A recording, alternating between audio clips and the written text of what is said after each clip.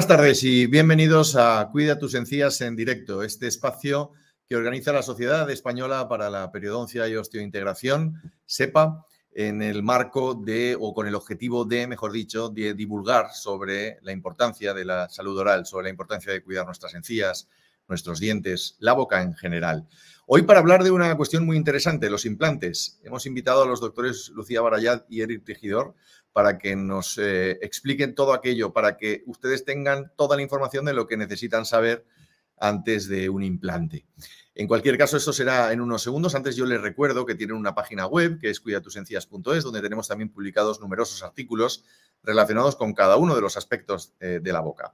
Es un equipo de periodistas el que está trabajando con la tutela y el asesoramiento de profesionales sanitarios de SEPA.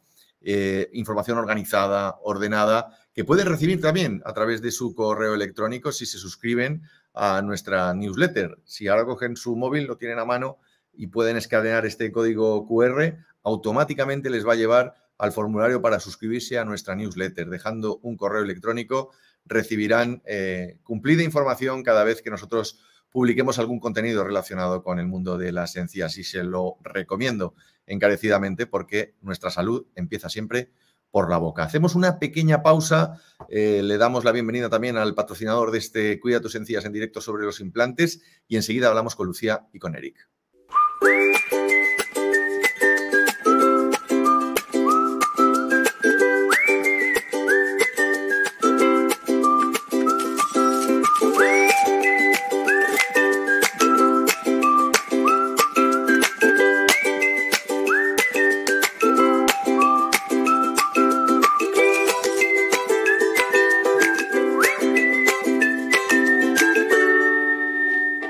Love your skin.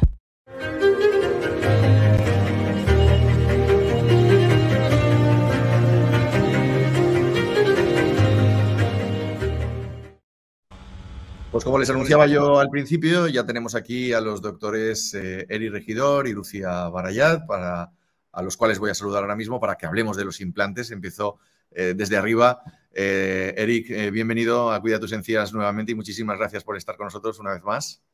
Hola Ángel, un placer volver a participar y muchas gracias por la invitación. Gracias a ti por aceptarla. Y está con nosotros también eh, la doctora Lucía Barayata, a la que ya, saludo. Muy buenas, Lucía. Hola, ¿qué tal? Buenas tardes Ángel y Eric, que también encantada de estar aquí esta tarde. El placer, el placer es nuestro. Eh, voy a empezar por ti, si te parece, Lucía, para que nos hagas un poco un aterrizaje. Cuando hablamos de implantes dentales, eh, ¿a qué nos referimos y para qué se utilizan? Pues bien, los implantes dentales es, una opción de tratamiento que se empezó a, digamos, a, desarrollar en la década de los 90 y sirve principalmente para sustituir dientes ausentes. Son como unas raíces artificiales de titanio que se colocan en el maxilar o en la mandíbula y sobre ellos se atornilla una corona eh, o se cementa y digamos de esta manera podemos conseguir una pieza, tener, tener una pieza nuevamente. Eric, eh, ¿cuáles son las principales eh, ventajas de los implantes frente a otras técnicas que utilizáis eh, los, dentistas, los ortodoncistas para el reemplazo de piezas dentales? Ah, bien, probablemente la, principal ventaja de los implantes dentales frente a otras alternativas sea que es la única solución o la única alternativa de tratamiento que tenemos que respeta a los dientes vecinos. Cualquier otra alternativa que no sean los implantes dentales para sustituir a dientes ausentes implica eh, alterar la estructura de dientes vecinos para ser, por ejemplo, un, puente o una prótesis fija sobre los dientes adyacentes al espacio que queremos rehabilitar. Eh, Lucía, mm, ¿quién son los candidatos ideales para un implante dental si es que existen? En principio, a ver, los implantes dentales se pueden colocar a prácticamente todos los pacientes siempre y cuando estén sistémicamente controlados. O sea, si tienen enfermedades sistémicas tipo diabetes o hipertensión es fundamental que, digamos, médicamente pues estén, estén controlados, como bien decía. Y en segundo lugar es importante que tengan un buen estado de salud oral previo. O sea, que si tienen algún problema a nivel de las encías, tipo gingivitis o periodontitis, esta se trate previamente, para que, digamos, los implantes tengan un buen cimiento sobre el que integrarse. Y Eric, mm, ¿Nos podrías hablar un poco del proceso? ¿Cuáles son los pasos que vamos a vivir en primera persona cuando nos planteen una opción de, implantología?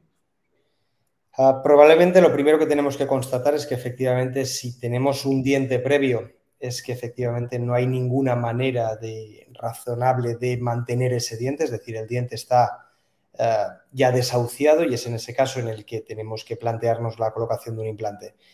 En ese momento lo que tenemos sobre todo que analizar es si disponemos eh, en el paciente que va a colocarse ese implante del hueso y la encía necesarios, ya no solo para colocar el implante, que, es eh, quizá el hueso el que más lo condiciona, sino más también desde un punto de vista de salud de ese implante a largo plazo, si disponemos de la encía suficiente ah, para, digamos, obtener esa salud del implante.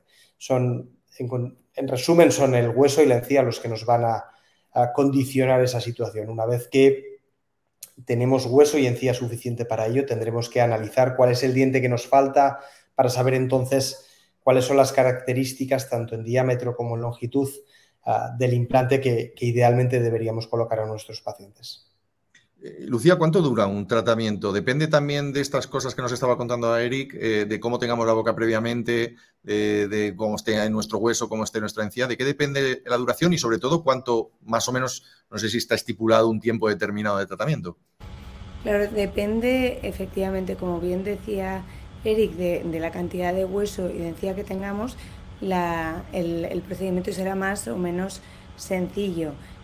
Por ejemplo, si tenemos un diente que, como bien decía Eric, no se puede restaurar de ninguna manera ni se puede mantener en la boca, pero hay hueso adyacente a ese diente suficiente, pues igual en el mismo día de la extracción se puede colocar el implante, mientras que en otras situaciones en las que, por ejemplo, si el diente tiene una infección muy grande y no hay hueso suficiente para anclar nuestro implante, pues habrá que esperar unos meses a que cure la herida después de haber hecho la extracción para colocar el implante dental. Entonces, ¿cuánto tiempo dura? Pues eso depende. De si es solo colocar un implante, en principio es relativamente sencillo, incluso a nivel intraoperatorio, un implante unitario sea hueso suficiente, pues igual es una intervención pues, de menos de una hora seguro, mientras que si hay que regenerar el hueso o hay que aumentar la cantidad de encía, pues siempre esos tiempos, mm, tanto quirúrgicos como de todo el tratamiento en general, se van a aumentar, pues incluso hasta varios, hasta varios meses hasta que podamos colocar la corona definitiva.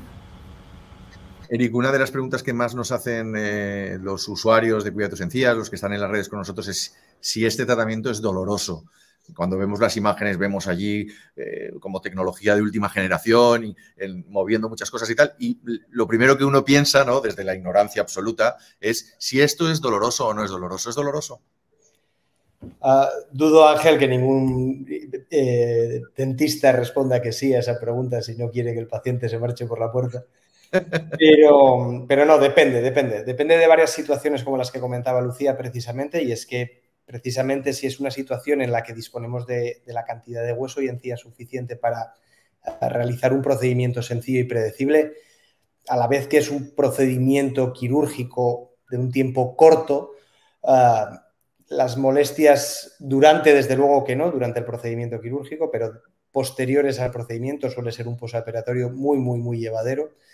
Son quizás esas situaciones que carecen del hueso o de la encía suficientes a la hora de colocar el implante, las que quizá ah, puedan estar asociadas a un mayor grado de, morbilidad o de molestias después del procedimiento, pero habitualmente suelen ser situaciones de alrededor de tres o cuatro días de unas molestias razonables y de un dolor posoperatorio llevadero.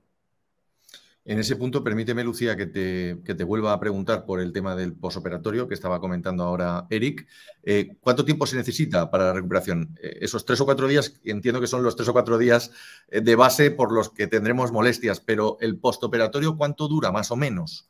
Pues tal y como decía Eric, si es un, en casos sencillos, ideales, el posoperatorio es prácticamente nulo. O sea, paciente pues con, medicación antiinflamatoria uno o dos días normalmente está perfecto, la inflamación la verdad que es muy, muy leve. Es verdad que en casos de regeneraciones óseas em, en combinación con la colocación de implantes puede haber, lo que decía él, los 3-4 días primeros posoperatorios una mayor inflamación y molestia porque, porque es el momento de, la inflamación después de cualquier intervención quirúrgica, pero es verdad que hoy en día con, con pacientes a los que damos la medicación antiinflamatoria y analgésica adecuada, si el paciente cumple con, esas, con la pauta que nosotros les damos, normalmente es bastante llevadero. Entonces, sí que es cierto que a veces la inflamación pues no la podemos evitar del todo y el paciente es verdad que en casos de regeneración eso es importante, se inflama, pero muchas veces de dolor, si, si con la medicación somos capaces de, controlarlo bastante bien. Eric, no sé si quieres añadir alguna cosa más con respecto al posoperatorio o te pregunto la siguiente. Ah, no, creo, Lucía ha explicado ya todo, yo creo que de hecho lo había pisado yo con la anterior un poco ya también. Pues entonces te pregunto por, por, cómo están hechos los implantes, ¿no? ¿De qué materiales están hechos los implantes? Habéis hablado del titanio, etcétera, pero mm, todo esto siempre es pensando en el paciente final, ¿no? Es decir, ¿qué me van a poner en la boca, señor? Eh, ¿De qué estamos hablando? Ah, son materiales en general biocompatibles, quiero decir, en, en, ningún momento, y no solamente a nivel de implantes, sino a nivel odontológico en general, se va a colocar ningún material que no sea biocompatible. El material por excelencia de los implantes dentales, que no necesariamente el 100% de un implante es de ese material, pero el material por excelencia es el titanio, aunque tiene un porcentaje menor de circonio. Y es precisamente el circonio también uno de los materiales que más se está investigando últimamente. Hay una serie de ah, casas comerciales que en la industria están promoviendo estudios de investigación que realicen, eh, o sea, que utilicen implantes realizados con, circonio en vez de con titanio.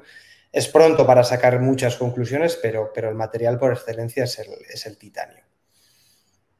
Eh, ¿Existe en Lucía algún tipo de, riesgo o de complicación asociadas a los implantes dentales? ¿A qué nos podemos enfrentar? ver, como cualquier intervención quirúrgica, ¿no? Eh, no está exenta de posibles eh, complicaciones. Si bien es cierto que eh, si se hace un buen diagnóstico, por ejemplo, con, con la utilización de un, de un TAC a nivel local, lo que se conoce como un CBCT, para localizar, por ejemplo, estructuras anatómicas adyacentes que no debemos, es que no debemos entrar con nuestro implante, pues esas, el índice de complicaciones se puede disminuir mucho, ¿no? Pero si la complicación yo diría más, eh, más frecuente que puede pasar si colocamos un implante, aunque la tasa es, es bajita, es entre un 2 y un 5%, es que el implante no se integre. O sea que uno coloca un implante y que ese implante en vez de rodearse de hueso, pues al cabo de un tiempo pues mm, salga y haya que esperar otra vez una serie de meses para volver a colocar el implante. También puede, puede producirse una, una infección, pero es verdad que que mm, si se da una pauta antibiótica, sobre todo si se, si se combina el implante con la regeneración ósea, pues ya nos estamos curando en salud en ese sentido. O sea que complicaciones, pues efectivamente, como en todas las intervenciones quirúrgicas, puede haber, pero, pero es verdad que con una buena planificación y un buen diagnóstico, en general intentamos controlar sobre todo las más importantes, que es no eh, introducir un implante en una, en una zona que no, que no corresponde. Me quedo sobre todo con lo, del principio, que la tasa es muy, muy pequeña, ¿no? De fracaso del implante, o sea, que el implante no se, no se integre, la tasa es relativamente baja. Eric, ¿cuánto tiempo dura un implante? ¿Son para toda la vida o tenemos que tener en la previsión a largo o medio que igual hay que hacer ciertos cambios? Eh, Buena pregunta, Ángel. Ah, son situaciones quizá, de hecho, remontándonos a cuando se empezó en la profesión a colocar implantes, se pensó que podían ser para toda la vida, efectivamente, y hoy en día hay pacientes en los que sigue siendo así. Es decir, hay pacientes que, se colocan a los implantes y son portadores de ellos hasta el final de sus días. Pero sí que es cierto que, y remontándome a una de las primeras respuestas que decía Lucía, tienen que ser pacientes eh, médicamente, o sea, sin ningún tipo de compromiso médico, con una serie de cuidados eh, y muy comprometidos con, el tratamiento que se ha realizado. Es decir, pacientes quizá eh, con enfermedad periodontal descontrolada, con hábitos nocivos como puede ser tabaco, un fumador descontrolado, o incluso enfermedades sistémicas, diabetes, colesterol, hipertensión, enfermedades de inflamación crónica, al final pueden también ocasionar una inflamación eh, en, la boca y que eso acabe por perjudicar a la salud de los implantes. También hay que analizar cuál es el motivo por el que se le está colocando eh, el implante a un paciente. No es el mismo perfil de paciente, ese paciente que pierde un diente por un golpe, por un traumatismo, y entonces no tiene un perfil genético tan periodontal mientras que si es un paciente que ha perdido todos sus dientes por enfermedad periodontal, cabe esperar que cuanto menos pueda tener alguna complicación a lo largo de su vida con los implantes.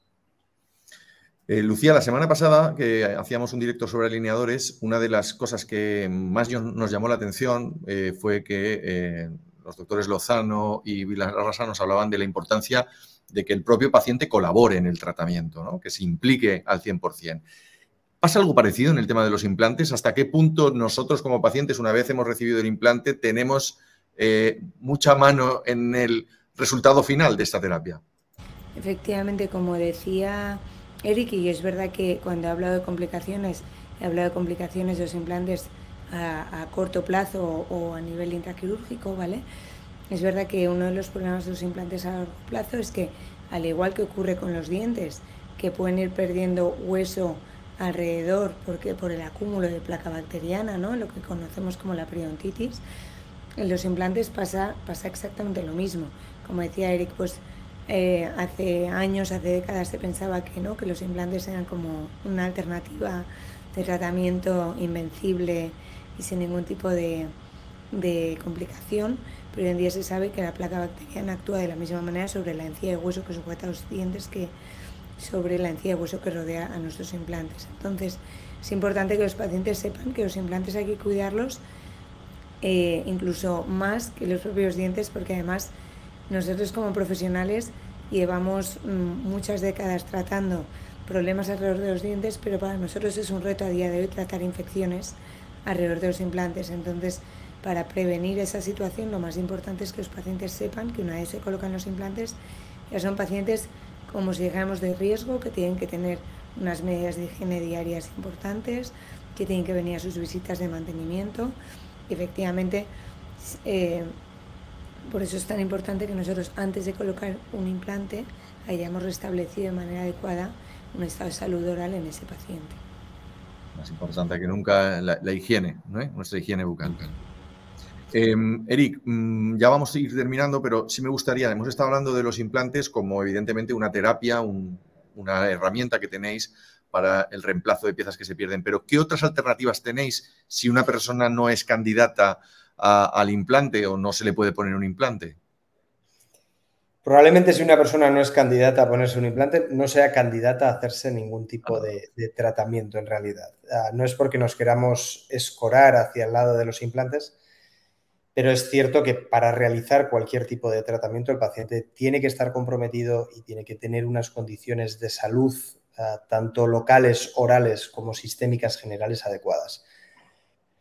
Alternativas las hay, desde luego, y, en ocasiones pueden ser perfectamente factibles y predecibles. Son ah, a nivel, digamos, la comparativa más habitual o, la situación más de dientes fijos, vamos a decir, que podría funcionar como alternativa a los implantes son las prótesis fijas o los que se conocen comúnmente como puentes.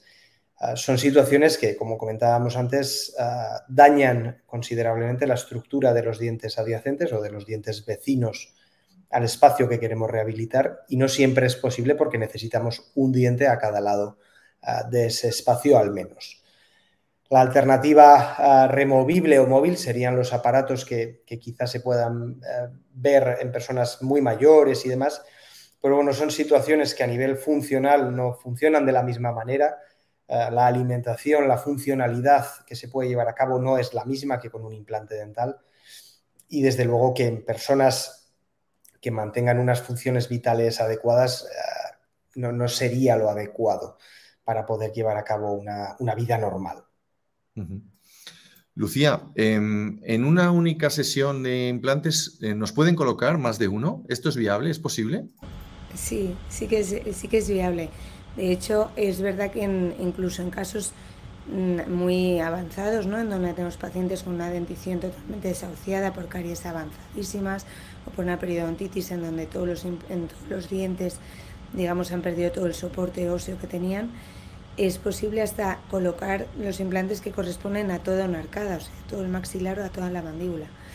incluso en, situaciones ideales ponerles en, esa misma, a lo largo de ese mismo día o el día siguiente una prótesis provisional. Sí que es verdad que eh, en esos, digamos, esos casos tienen que estar pues, muy bien planificados, son sesiones largas, el paciente, pues en muchos de esos casos, se somete también a un proceso de sedación profunda para que sea más llevadero, pero efectivamente es posible y de hecho es lo ideal porque así el paciente se somete a una única intervención. Correcto. Eh, estamos terminando, como decía, estamos hablando con Lucía Brayat y con Eric Regidor sobre todo el tema de los implantes. Y ahora quisiera apelar al final a vuestra experiencia eh, desde vuestra experiencia clínica y todo lo que habéis vivido en estos últimos años, si tuvierais que darle un mensaje a un paciente que se tiene que enfrentar a una terapia de implantología más o menos complicada, han quedado ya expuestos aquí algunas de estas opciones, eh, ¿cuáles serían los consejos que le daríais? Vienen a vuestra consulta y se lo tenéis que decir con qué creéis que es la idea clave que deberían quedarse, Eric, empiezo contigo. Ah, fundamentalmente intentaría mm, aconsejar a los pacientes que independientemente del profesional que escojan, sea un especialista en periodoncia e implantes, ah, con, todo el respeto para cualquier profesional. Creo que no entiendo la implantología ah, sin apelar a la periodoncia y es el cuidado de los tejidos que van a rodear o bien a un diente o bien a un implante futuro y creo que es importante que el especialista aprecie ah, desde el punto de vista periodontal si un paciente es candidato a colocarse un implante. Creo que sobre todo sería eso y, creo que, el segundo consejo o la segunda recomendación sería que no solamente el paciente se proponga reponerse un diente por motivos estéticos, es decir, ah, todo el mundo le da más valor a un incisivo central o a una paleta ah, que a una muela, y estoy de acuerdo de que en la sociedad actual eh, los cánones estéticos así lo, demandan, pero reconozco que tiene la misma importancia en un ecosistema eh, sostenible o equilibrado una muela que un incisivo central. Al final, muchos pacientes esperan mucho más tiempo a reponerse las muelas y son situaciones que pueden ir deteriorándose en el tiempo y que quizá ah, de haber perdido la muela y reponerse esa muela ah, con un implante a los meses habría sido infinitamente más sencillo que al término de unos años. ¿no? Gracias, Eric. Lucía, te voy a trasladar la misma cuestión que a Eric, ¿no? Desde tu experiencia eh, profesional y personal, los consejos que le darías a una persona antes de iniciar un tratamiento de este tipo. Bueno, coincido plenamente con los dos, con las dos recomendaciones que Eric muy sabiamente ha dado y simplemente lo que yo les explico muchas veces a los pacientes, ¿no? No es eh, me coloco un implante y ya cuando tenga la corona no vuelvo a pasar por la consulta, que es lo que la mayoría de pacientes quieren, ¿no? Ya me quito esto de en medio y no vuelvo, sino que cuando uno se coloca un implante ya tiene como un compromiso de cuidar ese implante tanto en casa como en la consulta y de acudir a las revisiones periódicas. Entonces, es importante que ellos sean conscientes de que los implantes hay que, hay que cuidarlos y que ellos son en parte responsables de que esos implantes tengan eh, a largo plazo una duración y un estado de salud eh, adecuados. Lucía, eh, Eric, ha sido un verdadero placer hablar esta tarde con vosotros sobre la cuestión de los implantes. En nombre de la Fundación SEPA, agradeceros vuestro tiempo, este ratito que nos habéis dedicado. Yo creo que esto es un manual de supervivencia eh, de casi 25 minutos para poder enfrentarse a un, a un, tratamiento de terapia, por lo menos ir informado, ¿no? que yo creo que es una de las grandes claves. Así que muchísimas gracias a los dos. Lucía, te mando un beso muy fuerte. Gracias, un beso. Eric, un fuerte abrazo también para ti. Cuídate mucho. Muchísimas gracias. Un abrazo para los dos. Hasta la próxima.